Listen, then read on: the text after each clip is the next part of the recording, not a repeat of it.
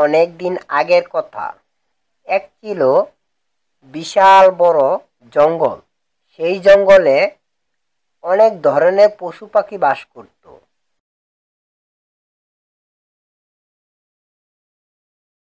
একদিন সারা জঙ্গল রটে গেল।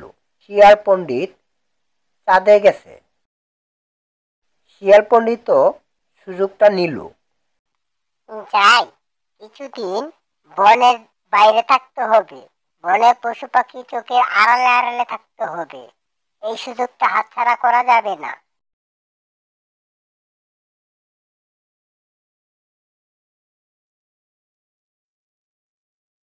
শিয়াল কিছুদিন এদিক ওদিক পালিয়ে থাকল।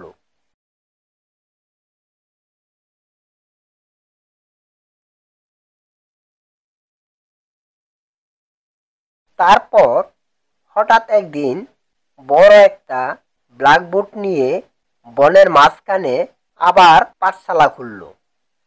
বানর থেকে শুরু করে সবাই তাদের বাচ্চাদের শিয়াল পণ্ডিতের পাঠশালায় ভর্তি করে দিল। আর সারা জঙ্গল ছড়িয়ে পড়ল শিয়াল পণ্ডিত চাঁদ থেকে বস্তা ভর্তি করে শিক্ষা দীক্ষা নিয়ে আসছে। শিয়াল পণ্ডিতের পাঠশালার খবর বাঘমামার কাছে যেতেও দেরি হলো না। বাঘমামা তো এই খবর পেয়ে রেগে মেগে অস্থির। তারপর একদিন শিয়াল পণ্ডিতকে সায়স্তা করতে শিয়াল পণ্ডিতের পাঠশালার দিকে রওনা হলো। বাঘ যেই না শিয়াল পণ্ডিতের পাঠশালার কাছে এলো শিয়াল পণ্ডিত বাঘ মামাকে আসতে দেখে তার ছাত্রদের পড়াতে লাগল বাঘ মামা সবার মামা। বাঘ মামাকে ভয় নয় বাঘ মামা মহান মামা। তখন নিজের এত সুনাম শুনে বাঘ মামার তো রাগ গেল উড়ে। তারপর একটু থেমে শিয়াল পণ্ডিত আবার পড়াতে শুরু করে। চাঁদ খুব খারাপ জায়গা। চাঁদে থাকে রাক্ষস কুক্ষস চাঁদে যেতে সবার মানো।